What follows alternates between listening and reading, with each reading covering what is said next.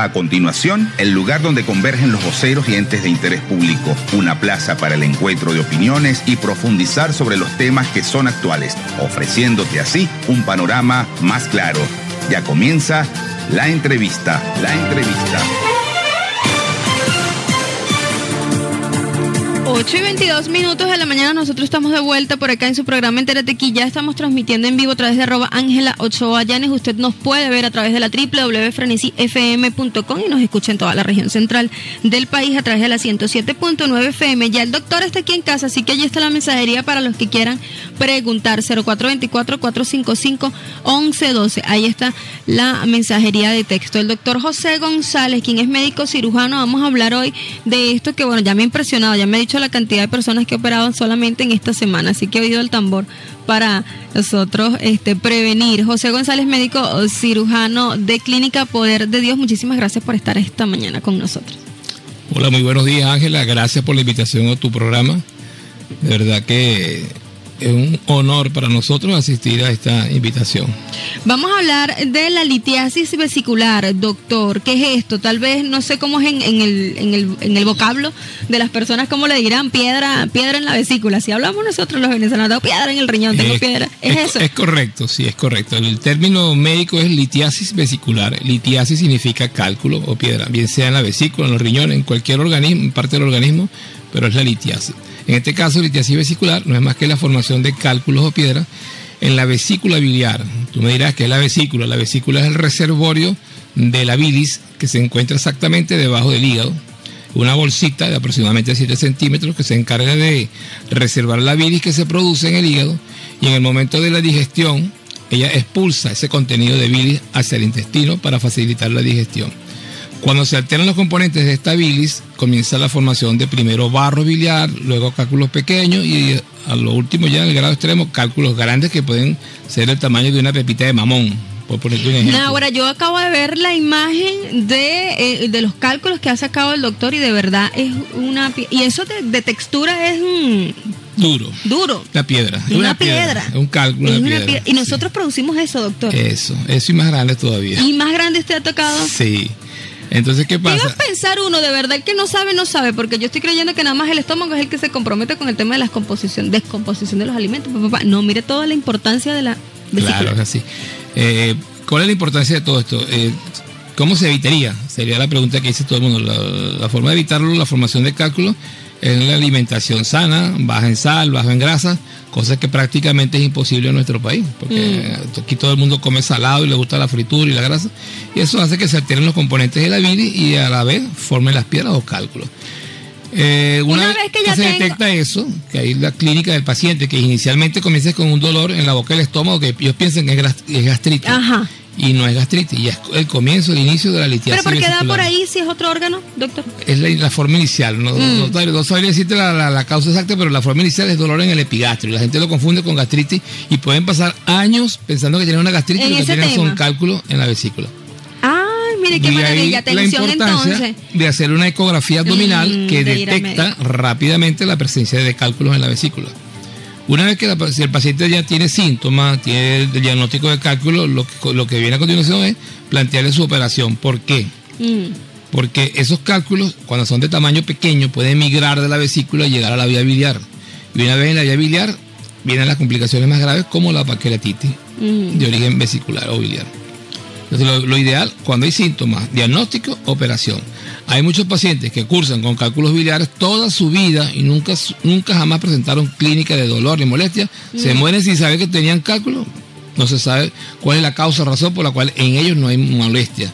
Pero cuando hay molestia y hay diagnóstico, hay que operar al paciente. Ok, si yo estoy empezando a tener esos barros, se me están empezando a formar estas, estos cálculos, ¿hay algún tratamiento que los disminuya? Como usted me estaba No. haciendo la diferenciación de tener No, no, cálculo a, en el dife- a riñón. diferencia de la litiasis renal, la litiasis renal los cálculos pueden ser expulsados porque son unas vías más grandes, unas vías excretoras donde los cálculos pueden migrar, salir, botarlos por la orina. En la vesícula no, en la vesícula es grave que los cálculos se muevan de la vesícula. Porque vienen las, las complicaciones que te nombré anteriormente, como es la pancreatitis aguda o la obstrucción de la vía biliar principal, Mm. que produce una ictericia, que es aquel paciente que se pone todo amarillo porque no puede expulsar la bilis. La bilis se regresa a la sangre y el paciente que aparece un pepito amarillito y Ah, con mucho contamina. dolor. lo contamina, le da dolor, una colangitis, que es una enfermedad muy, muy, muy, muy grave en el paciente. Colangitis, ¿qué es eso, doctor? La inflamación de la vía biliar principal, el, el, el colédoco. Ay, me encanta cómo habla este doctor, este papá, papá, papá. Porque, ¿qué pasa? Los médicos a veces le da pena, obviamente ellos no están este, formados para, para hablar en micrófono. Este doctor de verdad viene batiéndola, batiendo honrón. Son las 8 y 27 minutos de la mañana, estoy conversando con el doctor José González de Clínica Poder de Dios. Él me decía, no, Ángela, no hay que prevenir, ya cuando usted tiene cálculo, allí, este, no, no, ahí lo que sale es operación. Entonces, la prevención, doctor, está en la alimentación. ¿Qué otra prevención podemos hacer? Y vamos a hablar de otros síntomas también, porque me ha dejado de verdad viendo para los lados con el tema de la gastritis, que las personas creen que tienen gastritis y por allí también puede ser una un síntoma. Bueno, prevención, como te dije al principio, la prevención es tratar de alimentarse lo mejor sano posible y bajo en sales. ¿Por qué? Porque la bilis es una sustancia que está constituida por muchas sales y al aumentar la ingesta de sales, esta hace que se precipiten en la bilis y formen los cálculos de las piedras. Allí tienen La- entonces... La solución, la, la colecistectomía, que es la cirugía que se realiza para, extraer la vesícula, que puede ser de dos maneras. Una, la cirugía clásica, que es abierta, que es abriendo el abdomen, y la cirugía que tiene ya como 20 años en boca, que es la cirugía laparoscópica, que es la que tiene, por decirte, una recuperación más rápida, son incisiones pequeñas, el paciente se agrede menos Mm. y se extrae la vesícula de igual manera como la extrae cuando la sacas por la vía abierta. Mira, yo les voy a decir algo, estamos graves. La estadística esta semana, ¿cuántos ha operado, doctor? Cuatro casos esta semana. Es una enfermedad que ataca principalmente a las damas, a las mujeres Ah, a y de piel morena. ¿Y eso qué tiene que ver? No sé, son estadísticas que se hacen, estudios que se hacen epidemiológicos y la piel Ah, no, este morena doctor vino, a- yo me y las sorprenderlo. mujeres son las que tienen más tendencia a vesícula. Otro factor que predispone es la, la herencia. ¿Ah, eso sería? Madres con litiasis, abuelas con litiasis, jura lo que las hijas van a tener litiasis también.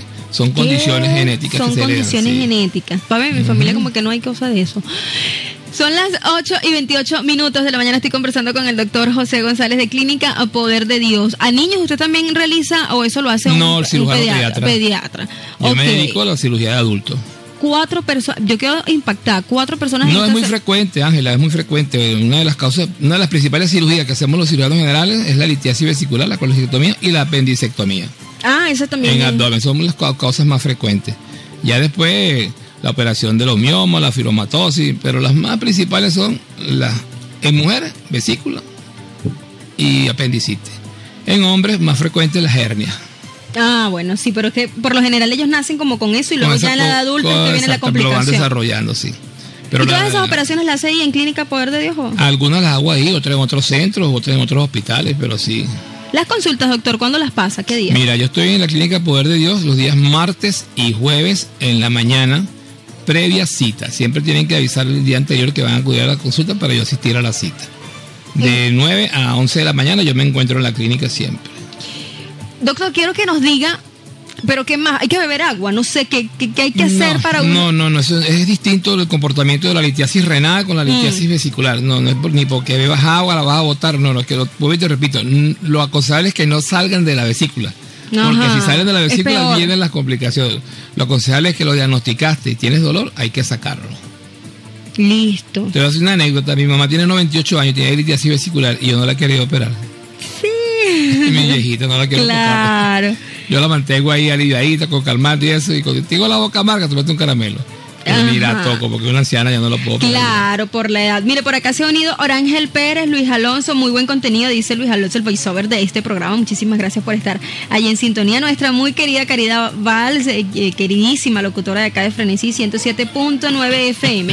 Entonces ya saben ustedes, señores, vamos a cuidar nuestra alimentación. Eso lo genera que con, con frituras, em, Alto eh, contenido en sal. alto contenido en sal. Como nos encanta comer lo que es dulce es dulce y lo que es salado es salado. Así es Total. Somos extremistas. Mire, eso también pasa, pero doctor, usted me dejó loca con lo de piel morena, pero ¿qué tiene que ver mi piel morena con, o sea, la rubia no le da litiasis? Sí les da, claro que sí. Hay mujeres blancas con litiasis. Estamos hablando de la proporción. Es Ok, claro, la estadística. Incluso es mayor la proporción en mujeres que en hombres. De cada tres mujeres operas un hombre. O sea, la proporción en el hombre es más baja que en la mujer. ¿Y por qué será? Pues las mujeres nos estresamos mucho.